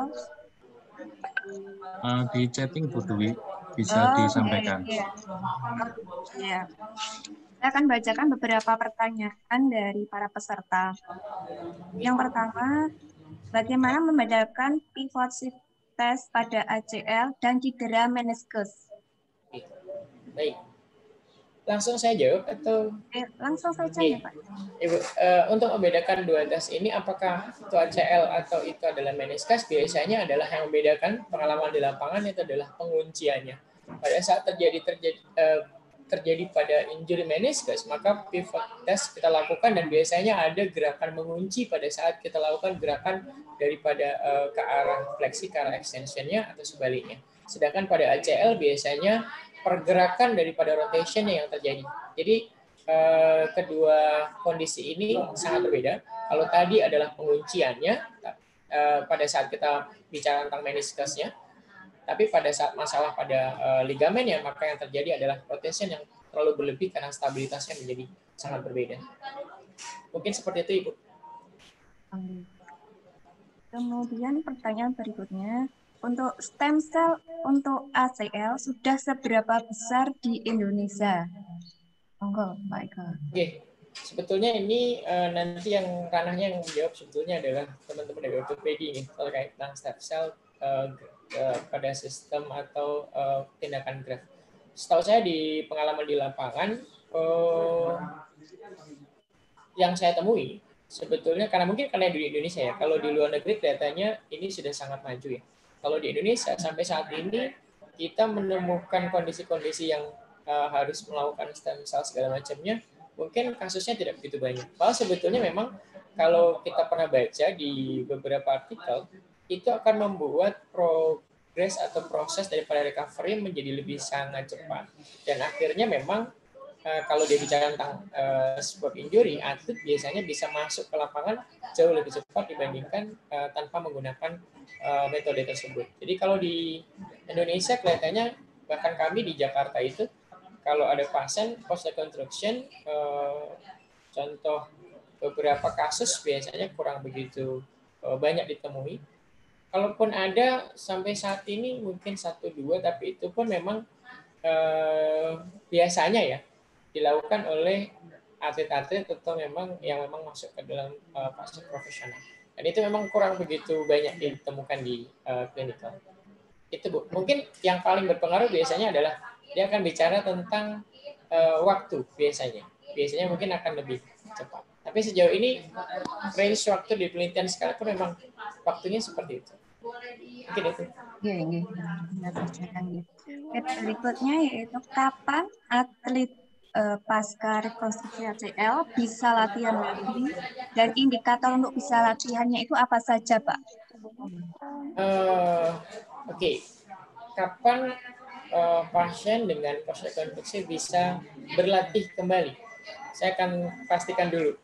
Karena dari mulai fase satu tadi kita bicara tentang latihan. Maksudnya latihan yang mungkin bergabung dengan teman-teman satu tim, mungkin begitu ya? Bu ya, mungkin untuk persiapan latihan di setengah timnya. Oke. Okay. Jadi sebetulnya uh, dari mulai di fase tiga itu biasanya di, dilakukan masih di clinical, masih di klinik. Tapi kalau dia sudah di fase 4, biasanya kita sudah bisa masuk di uh, bergabung dengan teman-teman di satu klubnya, tapi dia menggunakan metode atau dosis latihan yang sangat berbeda dengan tim sejawatnya. Jadi uh, kapan waktu yang tepat untuk uh, kembali bisa berlatih uh, sesuai dengan uh, spesialisasi daripada cabang olahraganya atau cabang olahraganya itu adalah biasanya di fase 4. Tapi proses latihannya dipisahkan masih dipisahkan dengan teman-teman yang lainnya karena memang uh, program latihannya masih sangat berbeda. Jadi kalau kapan itu berarti di fase keempat. Oh, iya di fase keempatnya. Jadi kalau program latihannya dari awal memang sudah ada program latihan ya, tapi kalau untuk bergabung ke teman-temannya saya pikir nanti dia mulai masuk di fase keempat. Kemudian nipris untuk melindungi lutut ke arah gerakan fleksi atau ekstensi. Nibris. Yeah. Jadi penggunaan knee brace ini digunakan untuk uh, melindungi uh, gerakan lutut ke arah mana, ya? Yeah. Ya. Jadi begini teman-teman, pada saat kita bicara tentang post reconstruction, maka uh, gerakan kalau teman-teman lihat guideline-nya, pasca operasi beberapa jam itu sebelum dia mulai exercise itu proses pada saat dia turun dari bed itu, maka yang kita jaga adalah posisi extension. Jadi posisi itu nggak boleh sampai ke flexion kembali. Karena kalau dia flexion, eh, gerakan ke fleksi tadi akan mengakibatkan eh, yang dikhawatirkan adalah terjadinya uluran atau tarikan daripada graf yang uh, dilakukan pasca daripada uh, rekonstruksinya. Maka yang sebetulnya yang dijaga adalah supaya pos posisi knee itu tidak terjadi gerakan flexion yang terlalu over di fase-fase awal. Maka kalau teman-teman perhatikan turun dari bed sekalipun itu kita harus jaga pada uh, pada tungkai yang uh, lutut yang rekonstruksi itu harus tetap extension. Jadi brace penggunaannya di fase-fase awal adalah untuk menjaga supaya stabilitas ototnya berkontraksi. Jadi kalau teman-teman logika begini, pada saat kita pakai brace, maka otot itu secara pasif sebetulnya pada saat di pressure maka dia akan uh, terjadi contraction atau pro, uh, proses uh, apa namanya protect. Nah, proses protect tadi pada bagian uh, lutut tersebut dibutuhkan karena kondisinya saat pasca rekonstruksi memang terjadi kelemahan dan unstabil. Maka kalau jawabannya adalah untuk ke arah mana, gerakannya adalah supaya tidak terjadi gerakan uh, atau tumpuan yang terlalu hebat sebetulnya, bukan ekstensi atau fleksi, tapi gerakan uh, protek protek daripada otot di sekitar lutut yang saat ini uh, ligamen tidak mampu membuat stabilisatornya, maka uh, mencoba untuk difasilitasi dengan menggunakan brace. Jadi kalau arahnya ke mana, flexion adalah arah yang untuk awalnya memang dihindari. Seperti itu Bu Erdianti. Maka saya bilang tadi pada saat dia inflamasi selesai, gerakan fleksi otomatis akan terjadi. Tapi gerakan ekstensi itu uh, merupakan PR yang lebih dibandingkan gerakan fleksi. Ya, jelas ya. Kemudian untuk cedera ACL sebelum tindakan rekonstruksi perlu pre-rehab atau tidak? Tujuannya apa dan programnya seperti apa? Baik, pertanyaannya baik sekali dan ini sebetulnya yang sedang di eh, proyek yang sedang dikerjakan oleh banyak teman-teman di eh, perhimpunan terkait tentang pre-rehabnya. Jawabannya sangat penting teman-teman karena sama seperti misalnya kasus di kesehatan wanita misalnya. Kalau kita bicara tentang uh, uh, persalinan, maka senam hamil misalnya ya, senam hamil itu dikerjakan karena memang bicara tentang bagaimana kesiapan psikologisnya si pasien sebelum um, menjalani proses daripada persalinan. Sama juga seperti ini di kami di di rumah sakit saat ini karena memang kebetulan uh, spesialis dokter spesialis ortopedinya Eh, sangat sangat terbuka dan memang tidak menutup uh, informasi dari uh, perkembangan teknologi. Maka beliau sangat percaya bahwa pasien sebelum melakukan uh, tindakan rekonstruksi biasanya yang yang menjadi target utama beliau adalah supaya tidak terjadi adanya banyak pendarahan pada saat proses operatif. Itu dibutuhkan uh, adanya exercise beberapa misalnya contohnya isometric exercise yang memang digunakan atau bertujuan untuk mencegah terjadinya proses pendarahan yang begitu banyak pada uh, proses uh, tindakan operatif. Waktu itu sebelum ada rekonstruksi bersifat atau skopi itu masih dibedah. Nah itu masih sangat dibutuhkan sekali di fase exercise di pre. Nah untuk saat ini exercise ini biasanya ditujukan untuk bagaimana caranya uh, exercise atau gerakan aktivitas-aktivitas yang bisa dikerjakan pasca rekonstruksi. Jadi sangat penting jawabannya dan saat ini sama seperti cita-citanya dokter Dadang yang ada di Solo sana, di Klaten sana, bahwa setiap kali kita operasi, maka fisioterapi hadir di dalam OK dan melihat bagaimana prosesnya. Sekaligus nanti setelah pasca operasi itu ada proses di mana dia melakukan uh, satu gerakan-gerakan yang memang tujuannya adalah untuk melihat apakah penguluran sudah terjadi dengan baik atau tidak. Sangat penting dan bisa teman-teman uh, aplikasikan nanti layanan karena memang sangat membantu dari uh, segi psikologis pasiennya sebelum melakukan tindakan atau skopi serta uh, terjadinya hal-hal seperti contohnya proses pendarahan yang terlalu berlebih efek akibat daripada uh, tindakan operasi. Itu Ibu. Ini mungkin bisa saya bacakan sekali lagi.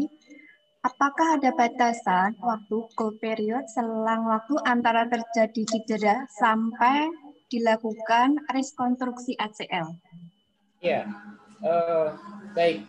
Namanya juga sangat baik.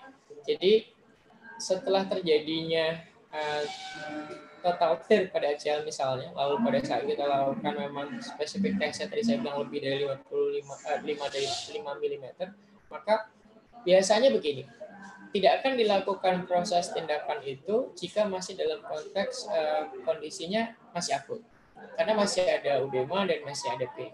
Jadi memang dia akan coba untuk rilis dulu di fase uh, di fase akutnya dia sudah mulai terlewati, maka baru dijadwalkan untuk tindakan uh, endoskopi atau rekonstruksi. Nah ini biasanya kalau di ACL kita bicaranya uh, gold period bukan seperti pada kasus-kasus sentra pusat, misalnya stroke. Maka kita bicara tentang waktu sekian. Tapi teman-teman, hasil diskusi kemarin itu terkait tentang kapan waktu yang tepat adalah semenjak dia melalui masa fase akutnya, maka eh, sebaiknya secepat mungkin untuk dilakukan proses rekonstruksi karena ini kalau yang tirnya adalah total ya uh, yang memang harus dilakukan rekonstruksi karena ini akan sangat berpengaruh terhadap struktur daripada jaringan yang ada di lutut. Pada saat ACL terjadi, tirnya adalah total tir, maka stabilitas akan berkurang. Nah, pada saat bicara tentang itu, kita bicara tentang postural kontrolnya, karena posisi impinge uh, tekanan pada sendi lutut menjadi berubah. Nah, tadi saya sudah sampaikan bahwa adanya kerusakan pada uh, kondisi ACL ini akan berpengaruh terhadap bagaimana daya tumpu di lututnya. Semakin lama kita tunggu untuk proses rekonstruksi dengan kondisi tir total daripada ACL-nya, maka yang dikhawatirkan adalah kerusakan daripada uh, cartilage, lalu meniscus. Bahkan bisa jadi karena perubahan habit yang salah dalam jangka waktu yang lama akan merubah juga pola jalan dan akhirnya membuat uh, pasien atau klien menjadi uh, kurang optimal dalam aktivitas fungsional. Jadi kalau period masa akut itu terlewati, maka di saat itulah dia sudah mulai dijadwalkan untuk proses uh, artroskopi atau rekonstruksinya. Mungkin itu Ibu.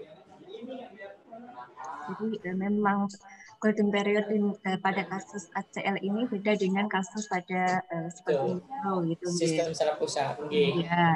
Karena kalau kerusakan pada sistem saraf pusat mungkin sekitar 3 sampai sekian jam dia dia harus masuk ke uh, butuh suplai nutrisi dan oksigen lebih banyak sehingga uh, bisa meminimalisasi daripada kerusakan pada jaringan otaknya. Okay. Tapi kalau di kami di ACL biasanya dia akan selesaikan dulu fasenya akut baru kita lakukan.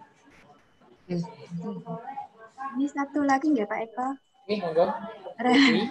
Sebetulnya banyak banget ini pertanyaannya nih Pak Eko, tapi memang ada beberapa yang nanti belum bisa terjawab di sini. Ini eh, apakah ada rumus atau garis besar perbedaan dosis latihan pada atlet dan pasien biasa pasca rekonstruksi ACL? Oke. Okay.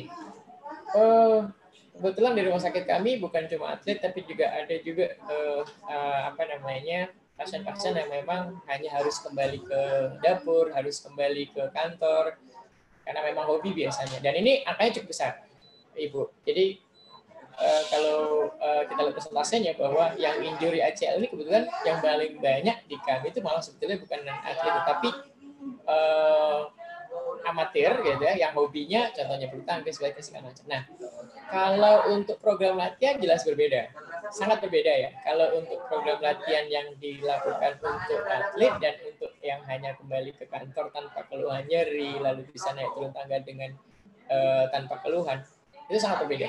Saya contohkan di awal gerakan misalnya tadi saya bicara tentang uh, quadriceps strengthening misalnya. Di quadriceps strengthening di awal mungkin kurang begitu banyak perbedaan. Tapi pada saat saya bicara di fase-fase seperti saya bilang tadi, butuh agility, maka di situ yang membedakannya. Kalau yang di atlet, maka saya butuhkan contohnya drill, counter, segala macamnya, sampai T-test dengan runningnya kanan, kiri, depan, belakang. Kalau untuk yang harus kembali di kantor, tidak harus melakukan hal yang seperti itu. Jadi untuk dosis, jawabannya Bu Dwi sangat berbeda. Ya. Uh, mungkin sebetulnya nanti uh, bisa kita lanjut lagi Pak Eko karena memang ada beberapa pertanyaan itu uh, belum semuanya bisa terjawab di sini. Mungkin nanti ada beberapa teman yang ingin bertanya bisa uh, lewat WA Pak Eko kan gitu. Kita oleh waktu. Ya. Mungkin ada closing statement dari Pak Eko. Baik, teman-teman uh, sekalian. Uh, ada banyak kasus yang dikeluhkan oleh teman-teman ortopedi terkait tentang penanganan ACL uh, pas reconstruction uh, terkait tentang bagaimana program pemberian program daripada teman-teman fisioterapi dan akhirnya uh, hasilnya kurang begitu maksimal. Mungkin yang ingin saya sampaikan yang pertama adalah teman-teman pada saat melakukan exercise di beberapa fase yang harus menggunakan uh, dan muscular uh, uh, recruitment daripada otot, maka Jangan pernah tidak menggunakan alas kaki atau sepatu yang baik. Ini yang pertama. Ini sangat berpengaruh betul terhadap terjadinya kondisi muscle imbalance. Jika terjadi muscle imbalance, maka yang akhirnya menjadi PR besar buat kita adalah kemungkinan untuk terjadinya injury itu sangat besar kembali. Jadi ini penting. Sebetulnya simpel. Karena kalau kita lihat di YouTube, mungkin teman-teman lihat di uploadnya video teman-teman sekalian, pada saat kita melakukan exercise, maka jangan pernah tidak menggunakan sepatu atau alas kaki yang memang ergonomis. Ini sangat penting. Karena dengan menggunakan uh, kaki telanjang, itu akan sangat berpengaruh terhadap uh, proses daripada base of support kalau kita sebut ya, kalau kita masih ingat bagaimana pondasi daripada uh, bagian tubuh bagian bawah untuk exercise dan berpengaruh betul terhadap bagaimana postural control. Jadi lakukan itu. Lalu yang kedua adalah jangan sampai saya tidak bilang jangan terlalu takut dan jangan terlalu berani, tapi kita harus lihat tadi yang saya sampaikan adalah poin-poin yang menurut saya yang yang bisa dijadikan standar pada saat bicara tentang post agile reconstruction. Jadi ada dosis, ada gerakan, ada tipe latihan yang memang teman-teman bisa ambil sebagai guideline yang tepat pada saat kita bicara tentang uh, penanganan pada ACL pasca rekonstruksi. Karena open change dan close change yang terkesan simple pada saat teman-teman aplikasikan itu di fase yang kurang tepat akan berpengaruh terhadap hasil daripada uh, exercise yang teman-teman lakukan. Jadi pengalaman kami di lapangan adalah banyak sekali pasien-pasien yang telah melakukan di telah melakukan exercise dan melakukan program latihan di satu klinik atau rumah sakit tertentu dan harus mengulang kembali program latihannya karena memang tidak dalam konteks standar yang tepat dalam melakukan proses latihan. Tidak sabar atau bahkan terlalu sabar dan akhirnya periode-periode dari fase ke fase menjadi tidak tepat. Akhirnya adalah pasien atau klien menjadi sangat berubah dari konteks postural, begitu juga tentang gate control. Dan akhirnya kalau atlet, maka ini akan berpengaruh terhadap prestasi. Jadi itu poin penting yang menurut saya uh, harus disampaikan Bu Dwi supaya teman-teman memiliki gambaran bahwa ternyata ACL post reconstruction memang punya standar pelayanan atau penanganan yang memang harus sama dan memang harus punya uh, concern yang sama dari satu fisioterapi dengan yang lainnya supaya hasilnya cukup baik. Buat saya itu untuk kali ini. Ya, terima kasih Pak Eko. Bisa saya sebutkan sedikit bahwa um, fisioterapis pun di sini bisa berperan pada pre-rehab sebelum uh, konstruksi yang tadi sudah disampaikan oleh uh, Iko. Kemudian kita jangan takut untuk menangani pasien pasca rekonstruksi ya. Yang penting kita tahu dosisnya, gerakannya, dan tipe latihannya untuk baik pasien ataupun untuk atlet. Ya, Pak Eko. Oke, betul Ibu. Uh, Terima kasih sekali Pak Eko atas uh, ilmu yang sudah di-sharekan ke kita. Semoga suatu saat bisa uh, memberikan ilmu tambahan kepada kita lagi. Terutama ini banyak yang teman-teman ini semuanya kan generasi muda ya Pak Angge. Jadi okay.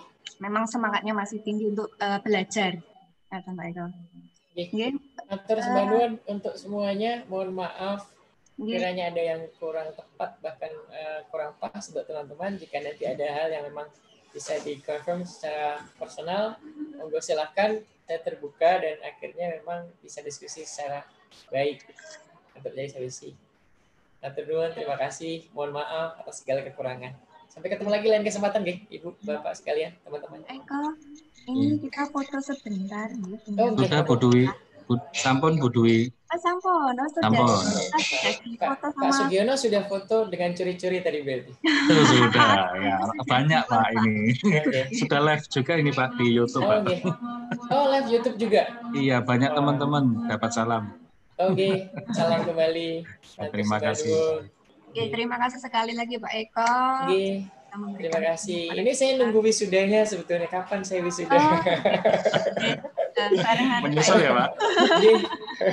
Nanti dengan online. Terima kasih. Terima kasih. Terima kasih teman-teman. Semangat terus. Oke.